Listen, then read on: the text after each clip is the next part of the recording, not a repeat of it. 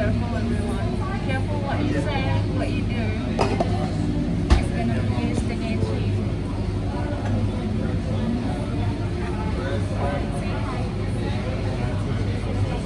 Hi Cassie.